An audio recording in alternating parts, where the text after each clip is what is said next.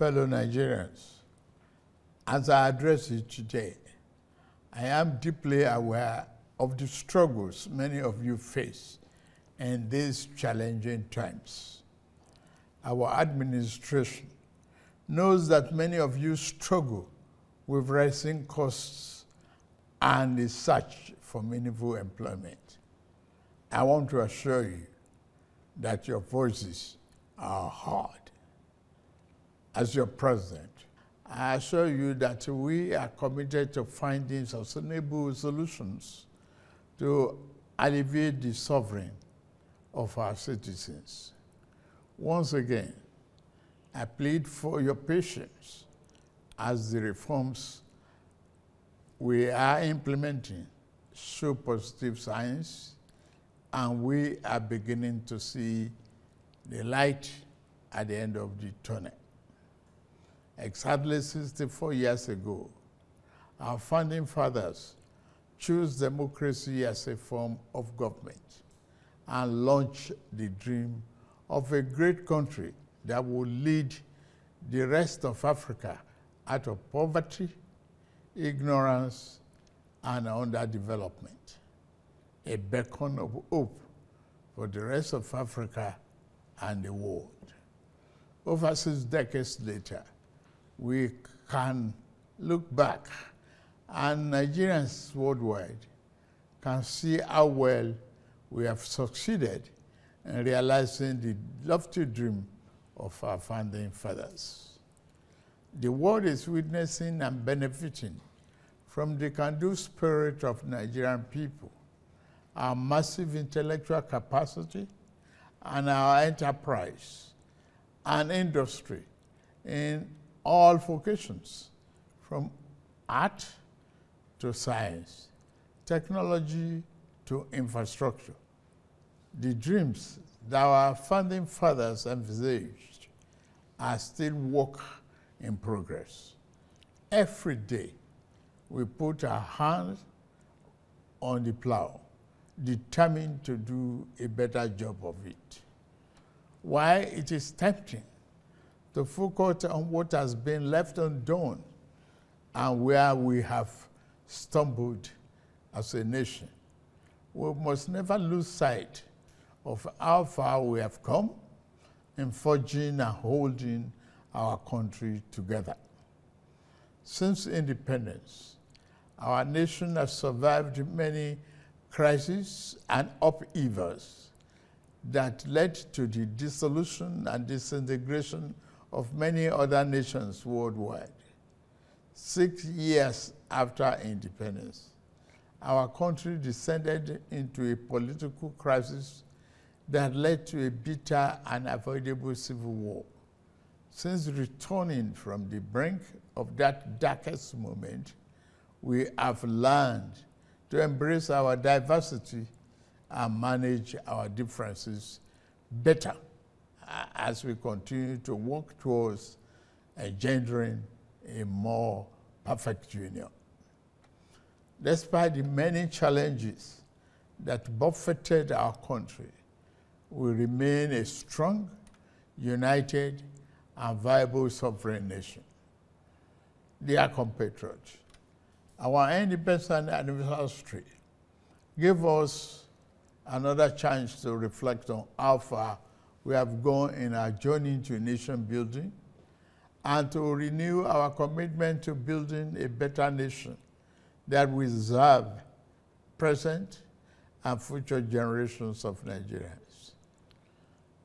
While we celebrate the progress we have made, as people in the last 64 years, we must also recognize some of our missed opportunities and mistakes of the past if we are to become one of the greatest nations on earth as God has destined us to be. Our mistake must not be follow into the future. My administration took over leadership of our country 16 months ago at a critical juncture. The economy faced many headwinds and our physical security highly impaired. We found ourselves at a decent crossroad where we must choose between two paths reform for progress and prosperity, or carry on the business as usual and collapse. We decided to reform our political economy and defense architecture. On the security front, I am happy to announce to you, my compatriots, that our administration is winning the war on terror and banditry. Our target is to eliminate all threats of Boko Haram, banditry, kidnapping for ransom, and the scourge of all forms of violent extremism. Within one year, our government has eliminated many Boko Haram and bandit commanders faster than ever. As of the last count, over 300 Boko Haram and bandit commanders have been eliminated by our gallant troops in the northeast, northwest, and some other part of the country. We have restored peace to hundreds of communities in the north, and thousands of our people have been able to return home. It is an unfinished business, I agree, which our security agencies are committed to ending as quickly as possible. As soon as we can restore peace to many communities in the troubled part of the north, our farmers can return to their farms. We expect to see a leap in food production and a downward spiral in food costs. I promise you, we shall not falter on this. Our government has been responding to the recent natural disasters, particularly the flooding in the part of the country. After Vice President Kashim Shettima visited Maiduguri, I also visited to assure our people that this federal government will always stand with our people in their times of trouble. At the last meeting of the Federal Executive Council, we approved a disaster relief fund to mobilize private and public sector funds to help us respond faster to emergencies.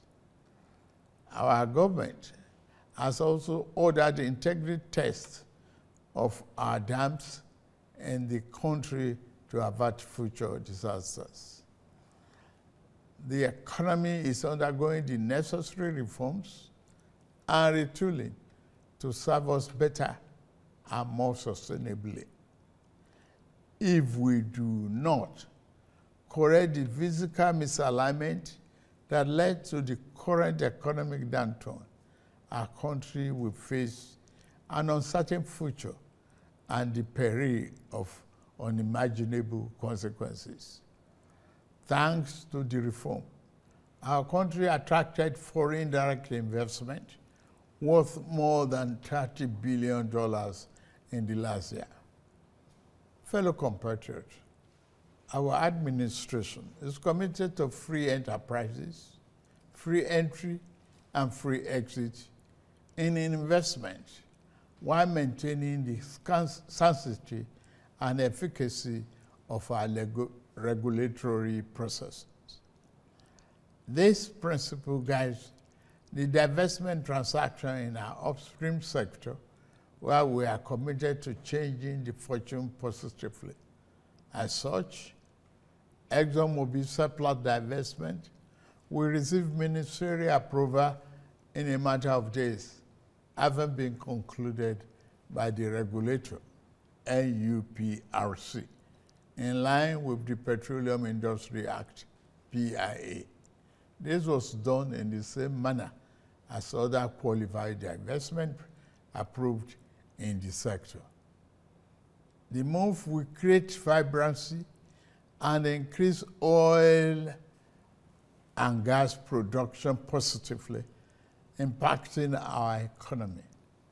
The more disciplined approach adopted by the central bank to monetary policy management has ensured stability and predictability in our foreign exchange market. We inherited a reserve of over 33 billion 16 months ago. Since then, we have paid back the inherited forex backlog of 7 billion. We have cleared the ways and means debt of over 30 trillion naira. We have reduced the debt service ratio from 97% to 68%. Despite all this, we have managed to keep our foreign reserve at 37 billion. We continue to meet all our obligations and pay our bills. We are moving ahead with our fiscal policy reforms. We stimulate our productive capacity and create more jobs and prosperity. The Federal Executive Council approved the Economic Stabilization Bill, which will now be transmitted to the National Assembly. This transformative bill will make our business environment more friendly, stimulate investment, and reduce the tax burden on businesses and workers one day are passed into law.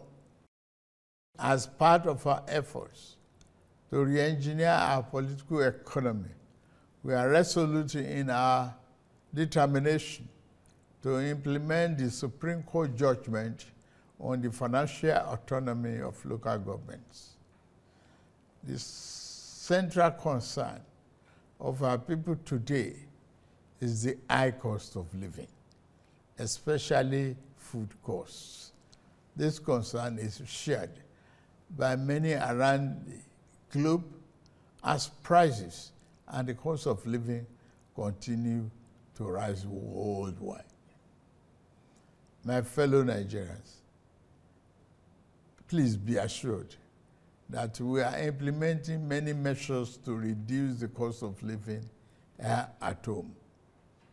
I commend the governors, particularly in Kebbi, Niger, Jigawa, Kwara, Nasarawa, and other Southwest governors that have embraced our agricultural production program. I urge other states to join the federal government in investing in mechanized farming we are playing our part by supplying fertilizer and making tractors and other farm equipment available. Last week, the Federal Executive Council approved establishing a local assembly plant for 2,000 John Deere tractors, combine harvesters, disc ridgers, bottom plows, and other farm equipment. The plant has a completion time of six months. Our energy transition program is on course. We are expanding the adoption of the presidential initiative on compressed natural gas for mass transit with private sector players. The federal government is ready to assist the 36 states and FCT in acquiring CNG buses for cheaper public transportation. Fellow Nigerians, while we are working to stabilize the economy and secure the country, we also seek to foster national unity and build social harmony and cohesion. Our economy can only thrive when there is peace. As we work to overcome the challenges of the day, we remain mindful of next generation as we seek to galvanize their creative energy towards a better future. we lead today with the future we wish to bequeath to our children in focus. Recognizing that we cannot design a future that belongs to them without making them its architects. Considering this, I am pleased to announce the gathering of a national youth conference. This conference will be a platform to address the diverse challenges and opportunities confronting our young people, who constitute more than 60% of our population. It, it will provoke meaningful dialogue and empower our young people to participate actively in nation building by ensuring that their voices are heard in shaping the policies that impact their lives. We are creating a pathway for a brighter tomorrow. The, the 30-day confab will unite young people nationwide to collaboratively develop solutions to issues such as education, employment, innovation, security, and social justice. The modality of this confab and selection of delegates will be designed in close consultation with our young people through their representatives. Through this compact, it will be our job as leaders to ensure that their aspirations are at the heart of the conference deliberations.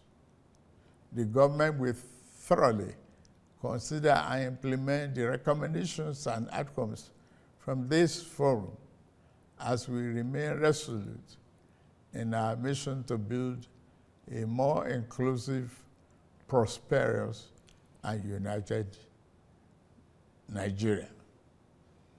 Our government is implementing several other youth-centric programs good to give our young people an advantage in rapid changing world. We are implementing, among others, the 3 million technical program of the Ministry of Communications, Innovation and Digital Economy, aimed at building Nigeria's technical talent backbone.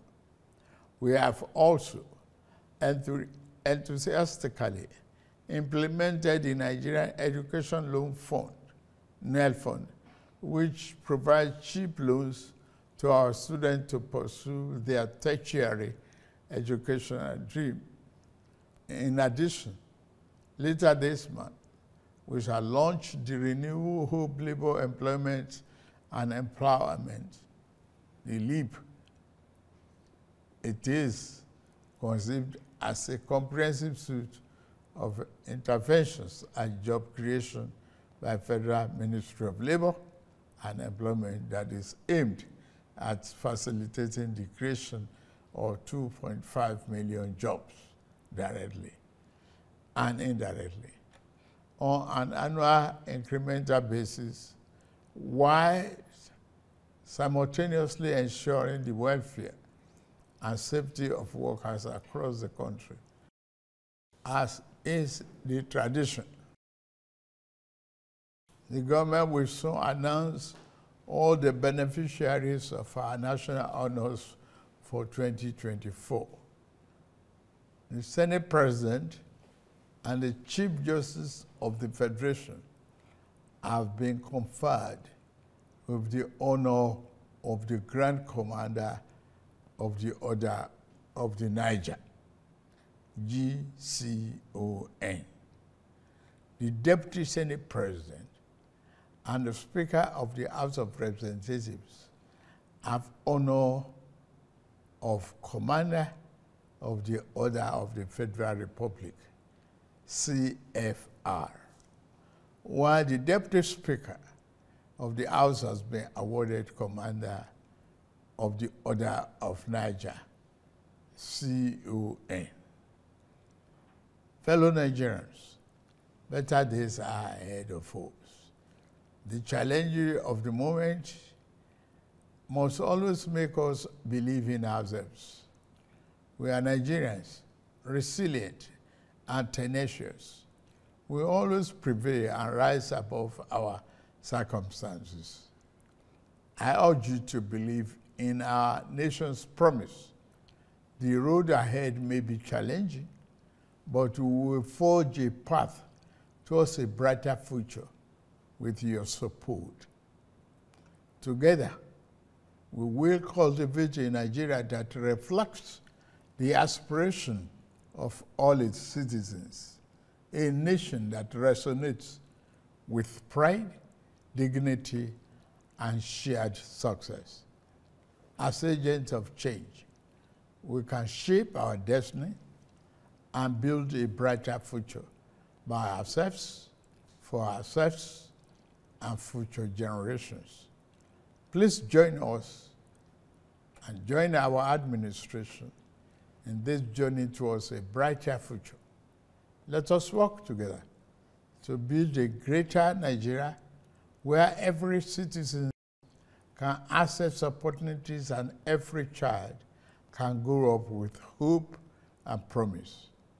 May God continue to bless our nation and keep members of our armed forces safe. Happy Independence Anniversary, fellow Nigerians.